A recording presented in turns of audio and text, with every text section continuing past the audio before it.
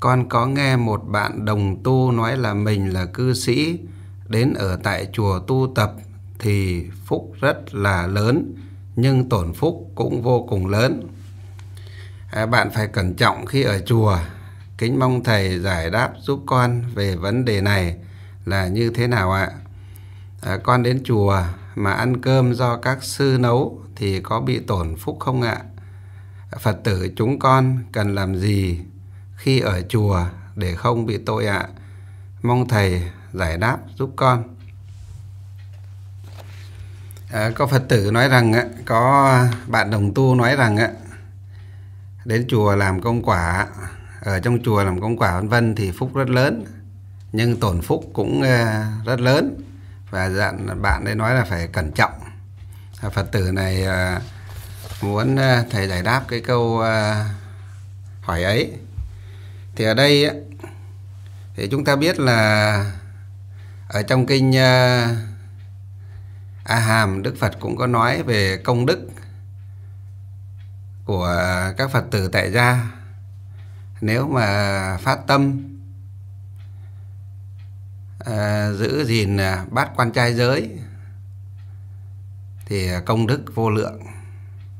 Đấy chính là một cái phương pháp tập sự xuất gia à, còn à, các phật tử mà chúng ta thu xếp được thời gian đi tới chùa để làm công quả thậm chí à, ăn uống ngủ nghỉ sinh hoạt ở tại chùa và sống một cái uh, cuộc sống cũng uh, thanh tịnh thanh bạch như là người xuất gia thì Đức Phật nói đấy công đức cũng vô lượng cũng chẳng khác gì người xuất gia vậy. Ở đấy gọi là thân tâm đều có thể xuất ra nhưng mà chưa được cái hình tướng xuất ra. nhưng đấy tất nhiên là ở trong chùa thì chúng ta phải phải làm tròn cái trách nhiệm bổn phận của Phật tử tại gia khi đến chùa làm công quả chấp tác thì mới được công đức như vậy à, chúng ta cũng nghe nói là nếu ở trong chùa mà không tu tập được thì à, tổn phúc cũng rất lớn à, câu nói này thì các cụ à, hòa thượng thượng tọa hay các tổ, cũng như là chúng ta thường thấy các cụ chúng ta hay nói cái câu nói là gì? Nói là ở chùa, gần chùa để gọi gì? Gọi bụt bằng anh, hay là gần chùa gọi phật bằng anh tức là chúng ta ở trong chùa, sống trong chùa, chúng ta chỉ đi nhìn à, thấy cái lỗi của người khác, hoặc là nhìn thấy lỗi của thầy trụ trì, hoặc là nhìn thấy lỗi của à, chư tôn đức tăng ni, hoặc là nhìn thấy lỗi của à, các bạn đồng tu và chúng ta đi, chúng ta chỉ trích, chúng ta nói họ là không tốt à, vân vân, thế này thế khác và thậm chí là chúng ta thoái tâm bồ đề thì cái đó là, cái đó gọi là ở trong chùa, gọi phật bằng anh là như thế hoặc rằng ở trong chùa, lâu ngày chảy tháng à, gọi là chúng ta bị nhờn đó. chúng ta bị nhờn pháp đó. đó.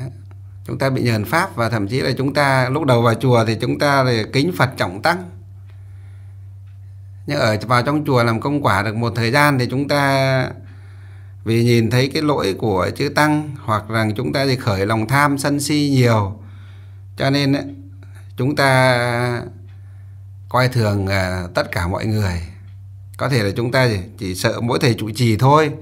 Còn à, các phật tử khác hoặc là các à, à, sư khác các đệ tử của sư phụ mình vân vân chẳng hạn cũng chỉ ngang hàng với mình thôi vân vân khởi cái tâm à, à, suy nghĩ cống cao ngã mạn như vậy.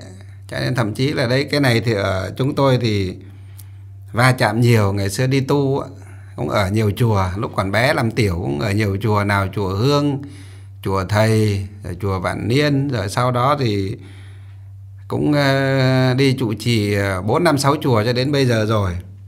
Đó, cho nên và đặc biệt là cũng ờ, gần gũi rất nhiều các ờ, quý thầy, cùng đồng trang lứa và cũng ờ, nghe các thầy tâm sự với nhau lúc làm tiểu như thế nào, vân vân.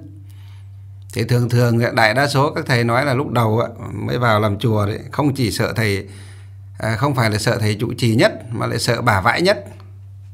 Vì sao lại sợ bà vãi nhất? Ở Việt Nam chúng ta, ở miền Bắc này thì các Phật tử nam hoặc Phật tử nữ đi làm công quả thì thường gọi là gì? gọi là vãi Đấy, gọi là vãi hay là gọi là thủ hộ đó. ngày xưa chúng tôi hay đi các chùa miền Bắc này thường hay chùa nào cũng hay có là một bà vãi gọi là vãi hộ tức là người giúp việc ở trong chùa trực tiếp ở trong chùa đấy thì thường thường 10 bà vãi hộ ở 10 chùa thì phải có 8 9 bà là gì? rất là ghê gớm ghê gớm lắm ai muốn đến gặp thầy chủ trì thì phải thông qua bài mới gặp được. Chú tiểu nào đến muốn tu được ở ngôi chùa đó thì phải bước qua được xác bà ấy thì, thì mới có thể tu được. Khủng khiếp lắm.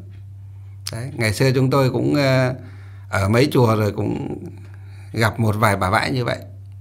À, cũng cũng gặp như vậy. Nhưng mà có cái thì được cái mình thì cũng gọi là khéo sống cho nên ờ, một thời gian sau người ta cũng từ cái chỗ người ta ghét mình. Người ta coi mình là cái người ờ, man di mọi dợ lúc đầu tiên. Nhưng dần dần chung sống ờ, lâu một thời gian vài tháng hoặc một năm gì đấy thì người ta lại thấy quý mình. Không hiểu vì sao lúc đầu thì người ta rất ghét bảo là mình là người man di mọi dợ nhưng dần dần người ta lại thấy quý mình thấy mến mình thấy thương mình nhiều hơn. À, thường là như vậy. Mấy chùa thì tôi gặp thì thường đều như vậy nhưng các quý thầy cùng học, các quý thầy ờ, nói rằng ờ, bà vãi, kinh lắm, sợ lắm. Vì sao? Vì bà ở trong chùa lâu rồi, có khi bà ở trong chùa hai, ba, bốn chục năm, bà nhờn pháp rồi. Cho nên ờ, thậm chí có những lúc bà còn dỗi cả lại với thầy trụ trì nữa cãi lại thầy trụ trì nữa đó. Đấy là những cái này. Trường hợp như thế, thì ở trong chùa thì, như phật tử này nói thì, tạo nghiệp cũng lắm phúc cũng có đấy nhưng mà để tạo nghiệp cũng lắm. Cho nên ấy, chúng ta đến chùa làm công quả thì chúng ta phải luôn luôn à, khởi ra cái tâm niệm là mình là một phật tử tại gia. Mình đến chùa là để làm công quả gieo à, cái hạt giống thiện duyên hạt giống phúc điền vào ở trong à, tâm khảm a lại gia thức của mình để mong là một ngày nào đó một năm nào đó một đời một kiếp nào đó mình có đủ duyên lành mình cũng được gì? Được xuất gia và được tu tập thanh tịnh đồng chân nhập đạo và tu thành chính quả. À, mau sớm thành Phật mau chóng thành Phật để phổ độ chúng sinh. Ừ, thì đó phải phát cái cái cái nguyện như thế thì mới mới mới à, không bị lỗi không bị trái và mới có công đức phúc báo lớn khi mà mình đến chùa làm công quả. Bằng không cứ khởi cái tâm kiêu căng, cống cao, ngã mạn, coi mọi người à, đều dưới à, bước chân của mình thì quả thật là tội lỗi vô cùng. Thì thà rằng không đi chùa còn hơn. Đó. Thà rằng không đi chùa còn hơn. Còn ở đây Phật tử hỏi một cái ý nữa là đến chùa thì ăn cơm các sư nấu thì mình có bị tổn phúc không?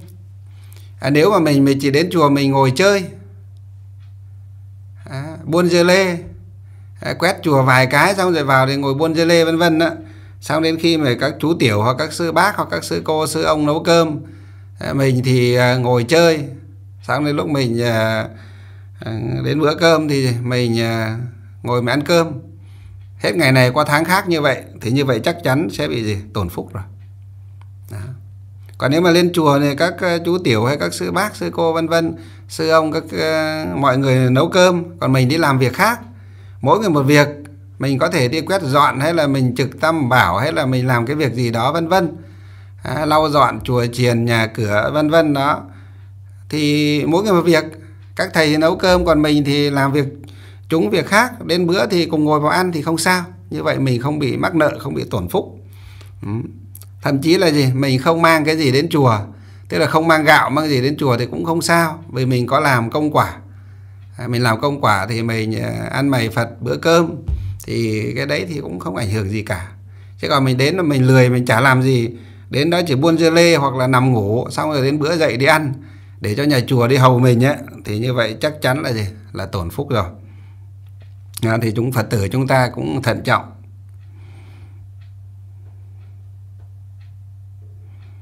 Ờ, phật tử này hỏi là ờ, khi đến chùa thì ờ, ý một ý nữa là nói khi đến chùa thì cần làm gì để không bị tội? Thế là mình bằng tất cả cái công sức của mình trí tuệ của mình à, thiện tâm của mình mình có thể bằng công sức thì mình có thể chấp lao phục dịch à, làm các công việc phật sự như là quét sân bao sái à, nấu cơm gánh nước bổ củi vân vân rửa nhặt rau trồng rau vân vân. Những cái việc đó chúng ta đều có thể đều có thể à, làm được thì chúng ta làm. Đấy, những cái việc phúc đức đó. À, thì chúng ta làm để hộ pháp cho cho nhà chùa trong chùa trong chiền để cho khỏi kẻ gian vào à, quấy phá trộm cắp vân vân chẳng hạn. Những cái việc đó đều tốt cả. À, à, thì đều đều là những cái việc à, phúc đức có thể phật tử chúng ta làm được để hộ pháp uh, cho chùa hộ giúp đỡ các công việc phật sự cho các quý thầy đều sinh trưởng công đức vô lượng.